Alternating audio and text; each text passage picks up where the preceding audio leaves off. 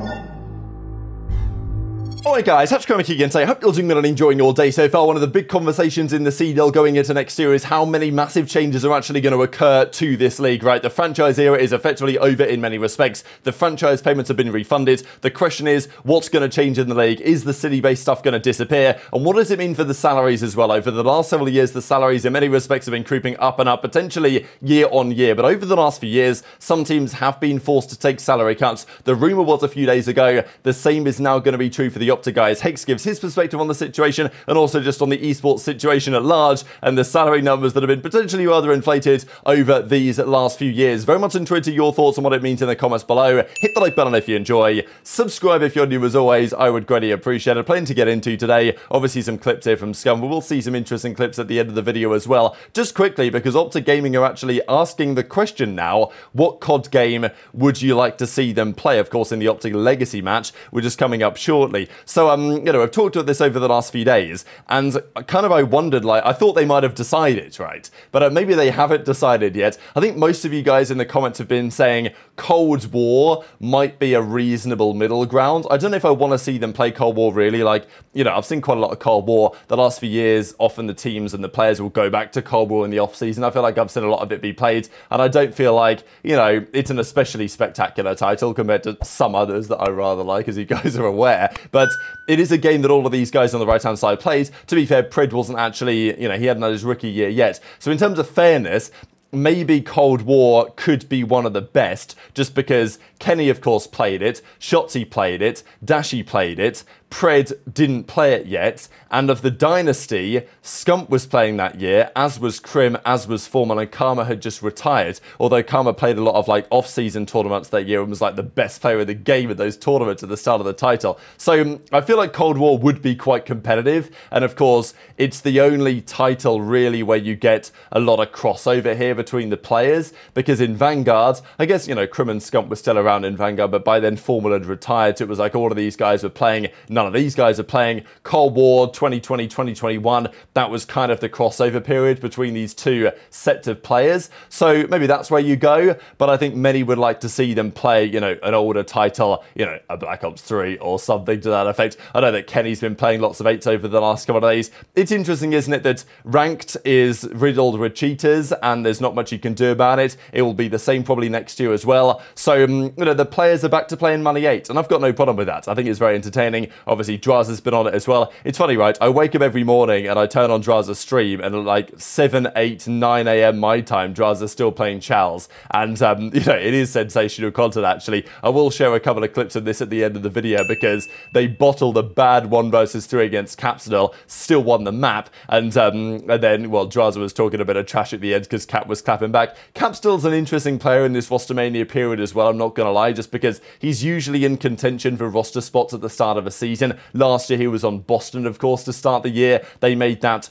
maybe controversial decision to get rid of Cap over Snoopy, but of course Snoopy was going to be their man. They kept him on. They got rid of Capsidel. They made the changes they did. It never really worked, let's be honest. And Capsidel is a player kind of like Nero, I would say, in some respects. Maybe not quite with the experience and the upside and the tenure and the impact that Nero sometimes has. But I think Capsidel is, you know, in that conversation with those former Boston Breach guys as well of being a highly impactful player when he, you know, he's a fast-paced player. I feel like Cap is the type of guy that will suit a game like Black Ops 6. Capsidel, Nero, Hook, right? These type of players you know, they will be up and down, that's how it is, and you probably need to pair them with an SMG that has a bit more consistency in play. But nonetheless, when they're on, they will be very impactful. So I think Capsidel is a name to keep in mind in this roster period. Of course, Cremp as well, you can't discount. And of course, TJ, I mean, TJ had a great bounce back year last year, but it's not clear at all where he's going to end up right now. Of course, he was released from the Ravens, and we don't know what Ravens are planning to do. Of course, there's guys like Geo, you know, that are in the conversation because Vegas have made their changes. You know, Geo, Johnny, Attach, right? He's of course available, as is Nero. Like, there's not that many spots for these guys to fill at the end of the day. And then you've got from the AR side, you've got Clayster, probably would still like to get a spot. Slasher, I think absolutely should get a spot. So, you know, whether like Slasher and Geo could think about running it up, or, you know, Attach and Geo, or something like that could be, I mean, Attach and Geo played last year, to be fair. Attach and Sib, I guess, is what I was going for. Maybe that could be a duo somewhere with a couple of SMGs, but you, I say somewhere, I'm like, okay, where? Let me go through the options. There's not that many options remaining, right? Really, we're talking G2, and we're talking potentially, obviously Cloud9's an option, but they've got Skyz and Kiz, so that kind of, well, at least as it stands, forms part of their roster, although they could change their mind on the way that they deal with that situation. I think that many would say, well, I guess if I threw it to you guys in the comments below, if you were Cloud9 and you had to choose Skyz and Kiz to build around, or if you said, okay, we're going to build around Sib and we're going to bring in somebody from an AR perspective that wants to play with him, you know, as I'm saying, maybe a slasher, maybe an attach, someone like that, and then build the SMGs from there, then, you know, maybe Joe deceives plus one, that sounds like the making of a pretty competitive team to me. I don't know whether they're going to do that though. That's what we were saying in last night's Dope Check. Really, the entire episode should now be uploaded. I had a couple of issues with it last night, but it should now be available for you guys to go and watch over on the Breaking Point channel. And, you know, maybe the argument is you keep Sib around going into next season, right? But some of the big talking points of the last few days has been on the pay cut situation because we saw this even with the subliners last year. There was a bit of drama as to how true this really was, let's not forget. But you guys remember when the season ended, Subliners had just won the World Championship, and Subliners were saying, oh, well, Priestahh, we can't afford his salary, so we're going to have to cut him down, and he doesn't want to take the pay cut, so we've got to let him go. Unlucky, Preston, you're out of here. And even Priestahh is another name that I didn't even mention over the last few minutes that, again, should be in the conversations for getting a roster spot next season, absolutely right. So there's just not that many opportunities remaining on the table, especially, you know, Gentlemates might come in for Guerrillas. They might have a couple of opportunities there, but as I said earlier today, they might want to have at least, you know, one French player on their roster, right, for the tenure so um, it's a tricky one, but we know that roster drama in terms of pay cut related drama is always a problem here in the esports. And, you know, when you add up the numbers, it's easy to understand why it's difficult to make this work. If you're paying someone, as the rumors were the other day, some of the players 500k, 750k a year. I mean, that's bonkers. And to be honest, I thought the numbers in terms of salaries were capping out at like 450, 500 maybe, which is still ridiculous to be fair, but you know, 450, 500k a year, I thought was like the upper limit really. And maybe it kind of was, but the salary cap is no longer a thing. The salary cap was around in the first year of the league. I think you had a salary cap of like 1.5, 1.6 million dollars. So, um, but Activision quickly realized that they actually can't enforce that because of California state law. They need a counterparty. So the salary cap was never going to be a thing, really. They couldn't make it last in the long term anyway. If there was a players' union, they could have a negotiation and make something happen, right? But of course, is it in the players' best interest? You know, there's other factors in play. But some of these guys are getting paid a lot of cash, obviously. And let's say you do the money. You're paying a one and a half million dollars a year, whatever, for your team's salaries. Let's say you're paying everyone 400k and they're all making a fair chunk of change. Let's just, you know, looking at the numbers, you've got to pay travel and expenses to the event as an organization. Most organizations don't take a serious cut of the prize money. They might take 10, 20%, which, um, you know, it's not getting that far in the grand scheme of things, right? And arguably, the organizations should or could take more of that prize money split, but then some of the players might not be so happy with that. But you know, it's potentially in everyone's best interest at that point to make that happen. That is a matter for debate as well. And obviously, the players are then free to do their own thing, make their own money in their own ways, streaming, and the organization isn't going to take any of their streaming revenue. And you know, what is the income for the organizations? Okay, they have sponsors, they have partners, they have activations they can run. Maybe a couple of partners pay them in the, you know, in the six figure range. But those partnerships might only cover the salary for like one player over the course of a season, right?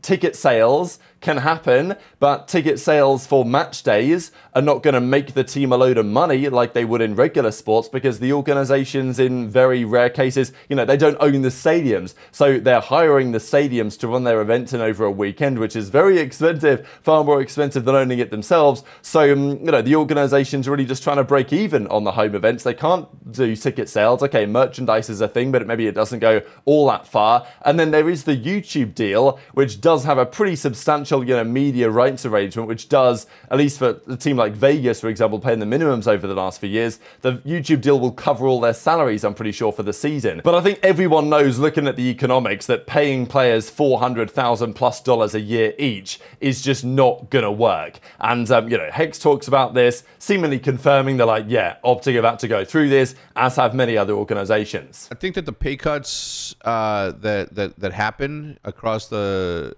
the the scene is just something that was like inevitable that something like that would happen. I do and I am happy at the fact that players got paid that much for as long as they did, you know, because otherwise, if everything would have stayed the same, they wouldn't have made that additional one. It would have been more sustainable. Sure, some of the stuff that happened didn't happen, uh, but in the end, they got like an extra couple of years of like additional cash that was on there in their pockets. I hope that they that they that they you know put some here, put some there, put some everywhere, and it was good. So this is far from exclusive to Optic, of course, right? Other players and you know teams have had to deal with this. Even the Los Angeles Thieves, I think, had to deal with it after they won champs. FaZe had to deal with it after they won champs of being like, look, guys, you know, we if you want to play together still, then you're going to have to pay, you know, take less pay because we simply cannot afford to make this work. So I think Hex's perspective is right that, look, the way that the league was being run, the way that the salaries were competitive in and amongst the respective teams did mean that, you know, top teams like Optic, if they want to form a competitive roster, had to pay on some level the market rate to get these guys in. That they did, that the other organizations did when they had a lot of venture capital money flooding in. Now that's no longer the case, and therefore there are problems. Bit of a reset. In the long run, it's probably going to be for the best. The players are going to make more content as a result, I guess. And the Optic guys are going to be fine. I mean, you know, they can turn the stream on and make their money back, obviously. I'm sure that Pred might have a thinking or two just because, you know, he's been out there spending 30, 40 40, 50 grand. I don't know what he spent on his European World Tour, but I can't imagine that it's been cheap what he's been up to over the last couple of months, it seems at this point. So Pred will be getting the gifted subs, and I'm sure when he gets the stream back on. But, um, you know, look, a lot of the streamers, they stand to make an awful lot of money. And Scumps, I imagine his Twitch revenue would be at a come quite a long way to covering the salaries of an esports organization. But, um, you know, if the numbers don't add up for the organization itself, changes need to be made. But, of course, if you're Optic or FaZe, really, you don't want to have to cut the salaries because then you might potentially lose out on the players that you have. They might go elsewhere where someone is still offering big money. And potentially Thieves played a bit of a blinder this offseason, right? By taking a rest last year, saving it a bit of cash up, accepting the fact that they were going to have a difficult rebuild year for the fans, and then, you know, striking while the iron is hot, now back into the league. But very much interested to your thoughts in the comments below. Hit the like button if you enjoyed, subscribe if you're new, take care, and I'll see you next time. Top rock, one shot. Watching his back. Hello, one shot. They're all the. They're all there. Reset Get my mid. Scammer. I this Might, might be pinching right here. Nice, nice, nice, Nice, nice. nice, nice. I'm chilling. I'm chilling. Dude, our, our should be. That was the top rocket. He's probably hit our side. Yeah, I think he did. Shot trophy. He has to be like on. He has to be Yeah, on mid the step, top. mid steps. I'm, I'm saying up. Tell you, I can't help you. I can't help you. Upstead, upstead. Weak, weak mid steps. I'm trying to play, yeah? He's- He went You right got side side? steps. One burst me.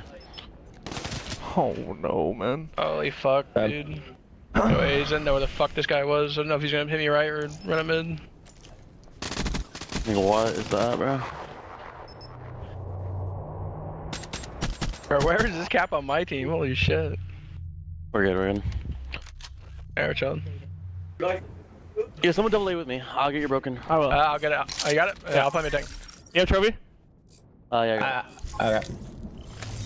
One EMP there. B. I mid, I mid. Top rock, top Top rock. rock, top rock. Yo, Carmen, Carmen, car. Carmen, Top rock, top rock. Carmen. Car's gone. I can camo B Street. Oh, you set. One I don't see one rock. on. Let him plant. Alright, you want to camo deep or what? They plant? Got me deep. Oh, yeah. You have And camo. camo. You Both both of me. camo. Camo in. On me. Both sides, both sides, both sides. Other one's behind you in the grave. Yeah, I'm staying up. Hey, Look push. me. I didn't hit him. Guys, your push, right. guys, your push. Left, left side. You're good. Fine cap. They should have bomb. Make a plant, bro. You have glitch check. Nice, Nice. shit. Just Great. cap. I trolled both those other rounds so hard. Showing 8 I fucked up that one while I was mid Yeah, we're statue. Fucked my movement up and I didn't know what to watch. We're good. Good I should have just Time told you like a hard hold there, side, or like. I just I knew he he was from. out, but I didn't know if he was gonna be mid or A, and I Yeah. honestly should have just backed up tank ASAP. I should have done. Good play. I know how would I kill this guy? Oh yeah.